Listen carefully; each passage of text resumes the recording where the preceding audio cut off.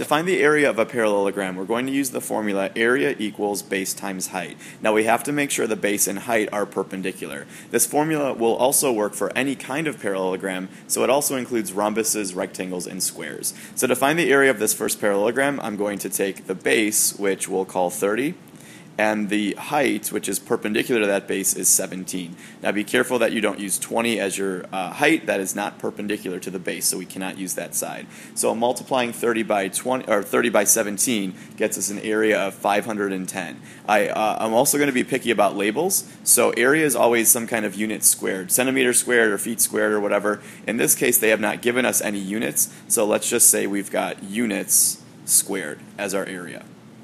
Uh, the second figure is also a parallelogram. So to find its area, I'm once again going to do area equals base times height. Now in this case, we have a couple different numbers we can use for the base and height.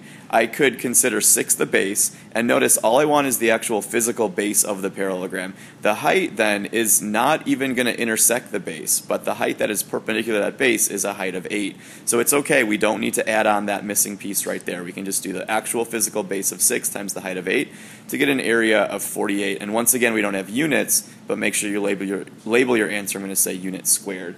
Um, now, there was also another way we could find the area in this case. I could also have considered this side to be the base of the parallelogram, in which case 4 would be the height. If I tried to do that, you would see I would get the same exact answer. So 4 times 12, uh, base times height, also gets me 48 square units. Okay, let's go back and also find the perimeter of each of these parallelograms. To find the perimeter of an object, that simply means add up all four sides. Uh, make sure you don't include sides that are not uh, actual sides of the parallelogram. So in this case, my sides are actually 30 and 20, so I'll add those two up. And because a parallelogram has four sides, I'll want to make sure I add up four numbers. I've got another 30 and another 20 for those other two sides. Adding all those values to get together gets me a perimeter of 100.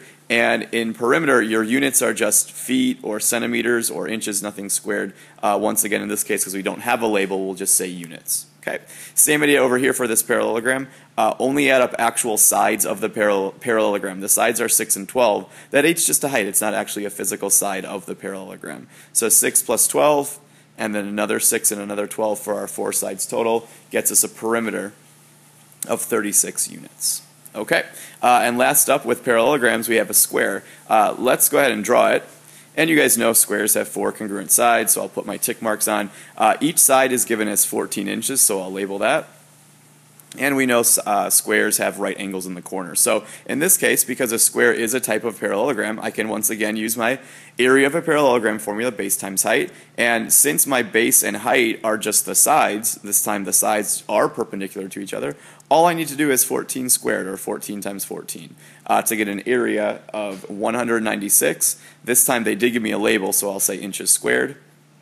And to find my perimeter, add up all four sides. Since they're all the same, rather than add 14 four times, I'll just do 14 times 4 to get a perimeter of 56 inches. When we're working with triangles, we're going to use the formula to find area uh, of 1 half times base times height, or some people like to do base times height divided by 2. They're both ex exactly the same. So basically take your parallelogram formula and divide it in half. So let's go ahead and find the area and perimeter of some triangles down here. Once again, your base and height must be perpendicular to each other. So find your right angle. In this case, it's right here. So I'm going to say my base and height are 8 and 21. So to find the area, I've got uh, base times height, but then don't forget uh, that 1 half in front. So multiplying a half times 8 times 21 gets me an area of 84. And once again, be careful with labels. I'll say unit squared. and perimeter is add up the three sides, in this case, that make up the triangle. So my three sides this time are 17, a 10, and a 21. Don't include the 8. It's not an actual side of the triangle. Uh, adding those together get me a perimeter of 48 units. Okay, next up, uh, once again, we're going to uh, find our perpendicular segments, uh, our base and our height. Uh, our base is going to be considered down here because there's my height that was given to me because there's my right angle. Uh, now, most people, they get the height, you know, the height's 8, but they're not sure what to use for the base. They don't know whether to use 9 or whether to add those together and get 16. And once again, just like with parallelograms, we only want to include the actual physical base of the triangle. So we're only going to include 9 in the formula. That 6 is not part of uh, the base. So 1 half times 8 times 9 gets us an area of 36 square centimeters. And the perimeters add up the three physical sides, which are 9, 10, and 17. Don't include those extra values. They're just heights or extra information that we don't need. So my perimeter, coincidentally enough, comes out to be also 36, but this time just centimeters.